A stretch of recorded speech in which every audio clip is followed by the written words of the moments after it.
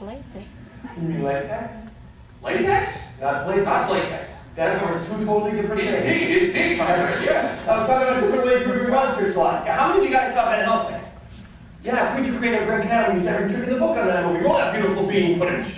Now guys, when you make a monster, you have to figure out first what you want your monster to look like, and then the best way to bring that look to life. For Frankenstein's monster in Igor, Greg used traditional prosthetics makeup. That meant that actor Shuler Hensley right there would sit in the makeup chair for five hours, while layers of silicone and latex were glued to his face. We gave him colored contacts, copper dental appliances, then we stuck him in a full-body foam rubber suit with arm and leg extensions to give him his colossal size.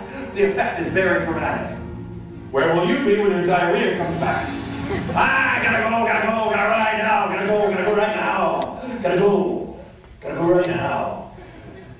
you know, um, you know, these folks might be interested in how one becomes a makeup artist, because it looks like a lot of fun. Well, it is a lot of fun, but it's a lot of work too. You Yeah. have to apprentice uh, for a long time to learn the trade. I apprenticed with Rick Baker. Well, I've heard of it. You won, won an Oscar, right? Uh-huh. He's won six. Oh, six? Harry the Hendersons, Men in Black, Men in I Professor. remember Grinch. Uh, Uh-huh. Well, uh, this one he got his first Oscar for right here. Kids, what is this movie right here? E.T. Yeah. There's E.T. E.T. Revenge. This is what, no, this is an American Werewolf in London. This is where Rick got his first Oscar for transforming actor David Naughton right in front of our very eyes into Joan Rivers. he kind of loved it so much they created the category for special effects makeup. It, it's, it still holds up to this day. I mean, Yeah. it, it, it's a, an accurate makeup, right? But his face is changing shape now. Do they do that with makeup? Uh, it's not just makeup. Now that was back in the 80s before we had digital technology. So the, what they did was they fed that actor a block of cheese and then a bag of prunes. and then they waited.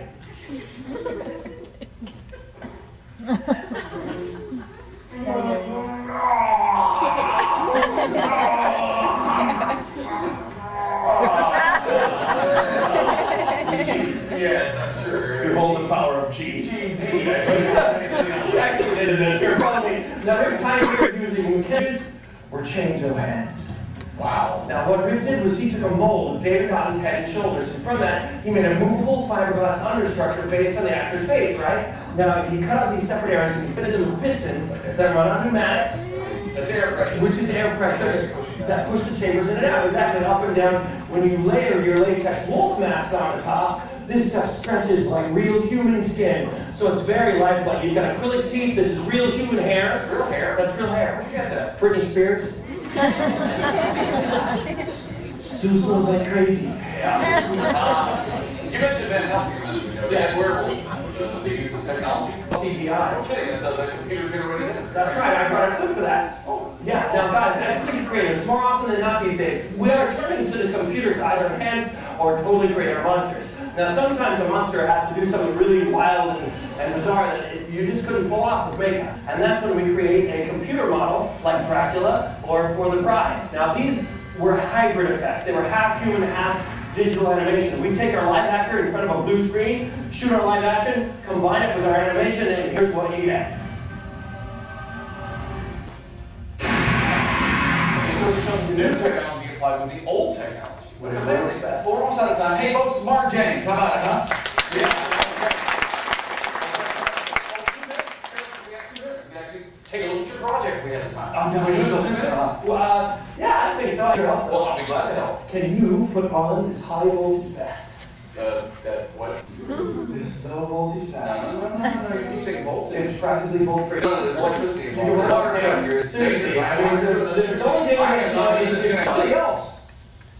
Krista! Yes, let's get Krista back. Thanks for volunteering again. Could you put the glove on Krista's right hand for me? please? It's Oh, always it's a all- hole for the thumb. I see. Krista, um, here, let me move your glasses for you.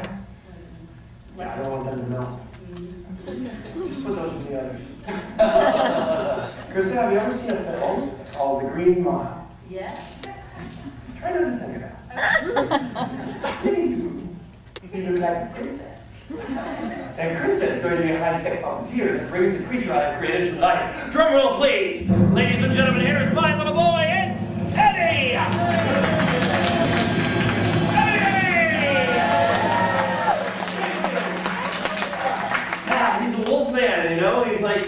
like Scooby-Doo on steroids. and you, Kristen, you're gonna bring it to life. You are wearing a telemetry suit. That means that you're covered. Now, in a moment, when I turn on the power, you're gonna feel a jolt of electricity shoot through your spine. And you're gonna go, just for like three to five seconds. When you wake up, you won't even remember that. It's all you'll be like, why am I wet? But then after that, when you move, your movements are electronically transmitted to Eddie. So when you move, he moves. You control him, like your husband. Go ahead and face Eddie. Put your hands down to your side. Only move when I ask you to, so you don't fry him out. I'm gonna power him up.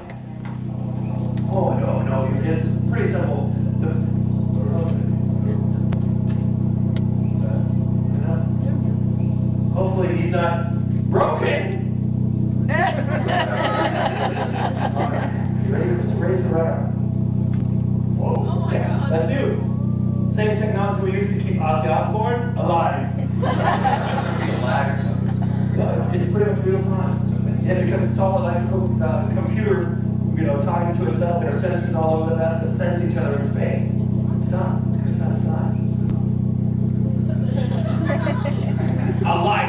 Big again, not alive. You can't deny. When a girl walks in with a newly wasted around hanging in your face, you get sprung. That's rap. Go ahead and stop. Put your hand on your tongue. Yep, the one with the bow. There you go. Take a bow. Stand up tall. Hand back down to your side. Power is up, Kristen and everybody! Take a picture for you. We'll print this up on my computer document. Uh, stand next to Alex. Alex, get in this picture. Oh, get next to Annie. All three of you guys all together. Sure. Yeah, we'll make it like a prom photo. Oh, yeah, here we go. Except she's not your sister. Uh, no. Might bring that up. What do you got? Here we go. Look at that. Count of three. One,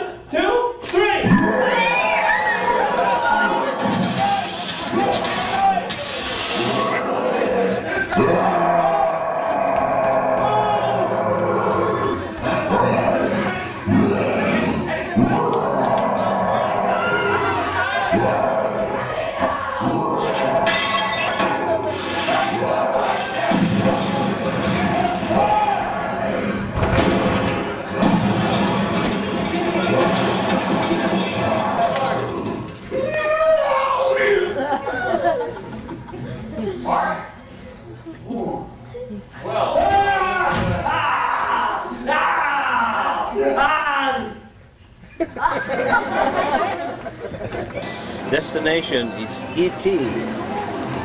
The, one of the most popular kids movie in the 80s, to be exact 82 maybe. So E.T. or extraterrestrial.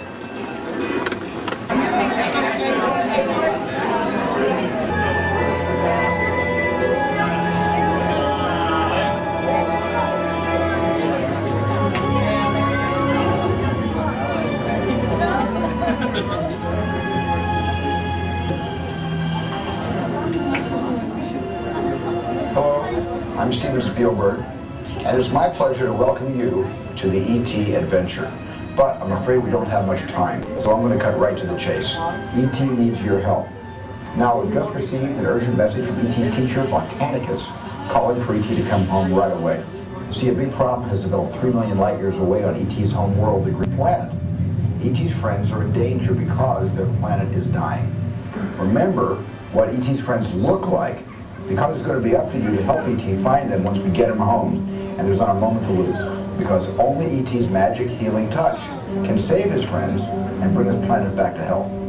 ET must go home and only you can help him. Even Ah, ET.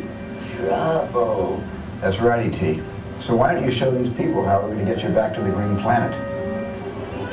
You and ET will be making your 3 million light year journey on these bikes, but don't worry, you don't have to pedal. But you will need an interplanetary passport. So before you leave ET, tell your first name to one of our assistants, and they'll give you your pass. Oh, Sounds like ET's ready to go. So good luck, everyone. And remember, ET's counting on you, and so am I. oh. It's up to you to save his planet so that he may visit us again.